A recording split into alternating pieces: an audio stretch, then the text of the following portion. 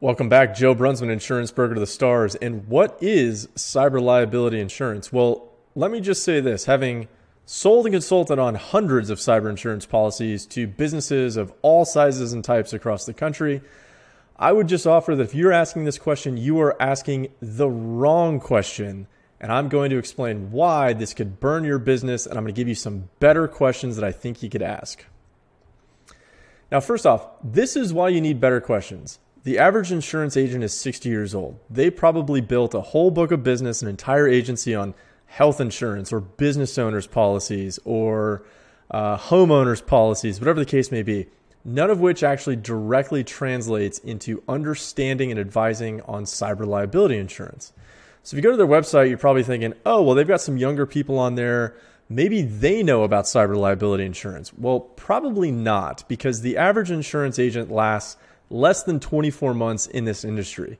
They simply don't have enough time on the ground to really delve into this topic and generally advise companies appropriately. That leads to kind of this weird dynamic where they're just trying to sell whatever they can as fast as they can to keep a roof over their heads. And if something bad happens to your business or your business is lacking some specific coverage, they probably won't even be around by the time that something bad happens. So if they're gone, they really have nothing to worry about. They're just selling whatever they can as fast as they can, and it's really not good for your business. Next, the licensing process, last time I checked, has absolutely nothing to do with cyber insurance or cybersecurity law. As a matter of fact, I've written uh, two books on cyber insurance and cybersecurity law, one of which I believe is the best selling in the country at the moment. And I also wrote an entire book on E&O insurance just to train myself for my own job because the licensing process had nothing to do with my daily activities. So you can just kind of write off the idea that the licensing process would equip these people whatsoever to assist you. Next, understand that cyber insurance, cybersecurity insurance, cyber liability insurance, whatever you want to call it, that's not a legal term. It's not even an insurance industry term. It's just this idea that society has that if something goes wrong in a computer was somehow involved, that there's going to be insurance for that. That is simply not the case, unfortunately. The next thing that makes this much more difficult is there is no standardization. So if you, let's say you're particularly worried about some sort of social engineering scheme, you get two quotes from different cyber insurance companies. If you actually dig into them, maybe the first quote, you're like, this has nothing to do in this particular area with what I want covered.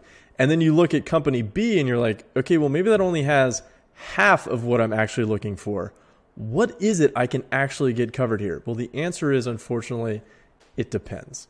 So, with that, I've got multiple companies calling me every week, and they call me up and they go, "Hey, I've seen your videos, I've read your book, um, you know, I've read your published articles.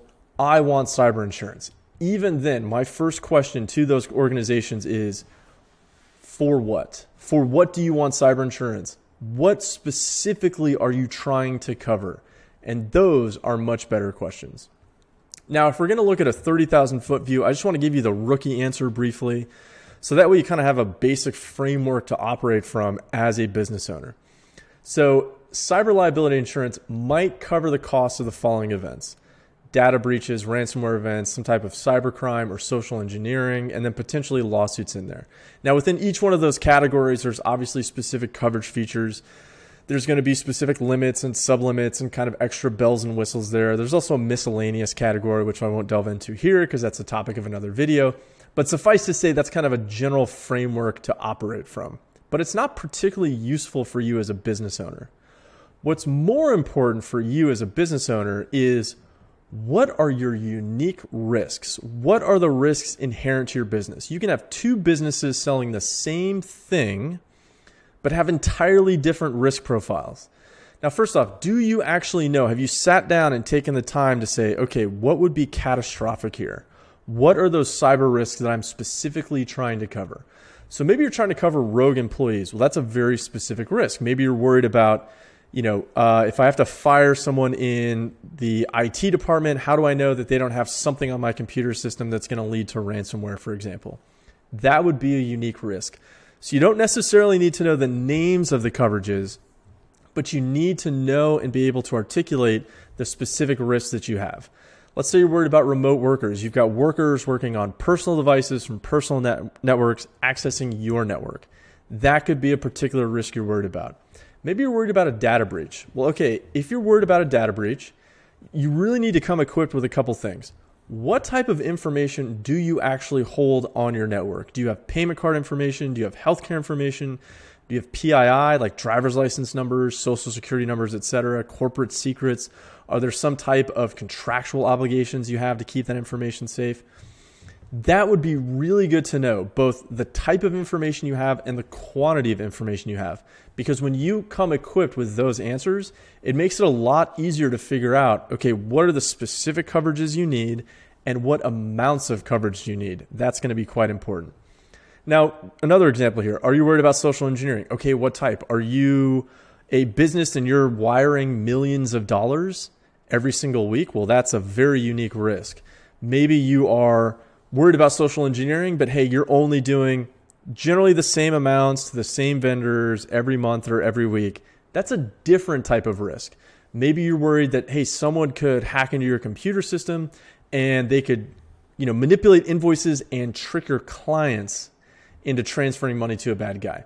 That's a different risk that you need to look out for as compared to someone hacks into your computer system and they trick your employees into transferring your business funds. Those are totally different risk categories to look out for. Ideally, you have already done a risk assessment. So you've gotten all the power players in the room and you sat down and you went through all of those what if scenarios and you've narrowed down, okay, these are like the top 10 things that we just have to get insurance for. And this is the size and the magnitude of loss that we think we could experience here. Those are great tools to come equipped with that really make everyone's life easier and it makes our lives as insurance brokers a lot easier when it comes to trying to consult with you on an insurance policy to make sure you have what you need. And at the end of the day, just think about this. You don't need to be an expert on cyber insurance to purchase cyber insurance. We are supposed to be the ones that are specializing in cyber insurance. But the strength you have is that you will know your business better than I ever will. So, with that, don't be afraid to point out these are the unique risks we have. Use the knowledge you already have in your head, leverage that knowledge to your own benefit. Now, let's talk about those level 1000 questions. These are the questions that I really wish people asked because I think it would lead to a much better outcome and a much safer position for those businesses. One, can you provide coverage for these specified risks? And this goes back to that risk assessment, whether it's formal or informal, qualitative or quantitative, however you want to hash it out. Think about okay, do we have coverage for these specified risks? If so, to what amounts can we get those coverage? Because that's going to have implications on how you run your business. Next, ideally, you as a business, you're not just going to go to the general business guy and get insurance from him. You're going to be working with a specialist and try and leverage that knowledge. I love this question. Am I missing something? Now, what I try and do is I take all the knowledge that I've gotten from that company that I'm consulting with and I say, okay, I understand these are the specified risks. Maybe we can get coverage for these particular areas. Am I missing something? Well, given what I know about your organization, because you laid it all out for me, these are some things I think you need to consider. Do you want to try and find those specific coverage features? That's a very, very powerful question for you. Possibly more important than the previous questions is what does this policy not cover? That's going to have a major impact on your policies, your procedures, your internal controls, your cybersecurity controls that you have inside your business. So, for example, let's say you're that business and you're wiring a million dollars a month. Well, to get a million dollars of coverage in the social engineering cybercrime area at this moment is almost impossible. We can do it, but it's difficult and it's going to be costly. And it really takes a keen eye to make that happen. So if you know, if you're like, okay, we're only covered for say 250,000 in this area, we're wiring millions of dollars a month. That's going to have a very profound impact on all of those checks and balances and internal controls that you're going to have inside of your business. It's also going to have an impact when you're talking to your IT or your MSP. They're recommending certain controls. Maybe now that expenditure makes a lot more sense for your particular business. Finally, what are the rules of this policy? Now, when I say rules, think of an insurance policy as a legal contract. And in that contract, there may be specific rules that you have to play by. Commonly, you're going to see that in the social engineering cybercrime section. And it may say something to the effect of coverage will not be afforded unless these specific things first occurred. So maybe you first had to call that person back, there had to be some sort of passcode, or there had to be some type of verification before you're going to get that coverage if something went wrong.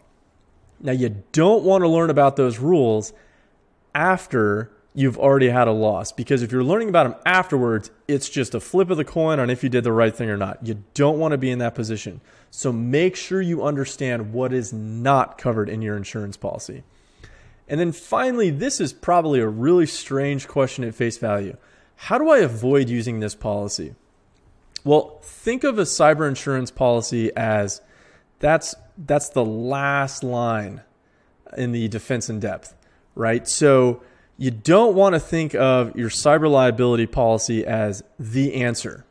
Your cyber liability policy should only come into play when everything in that defense in depth uh, has been penetrated. So if you get to that point and you need it, you want to make sure you have the right stuff in it.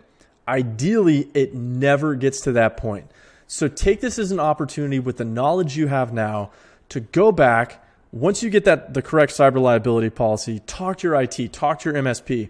Start thinking about okay, what are the limitations of this policy? What are the rules of this policy? What additional policies, procedures, and controls do I need to put in place?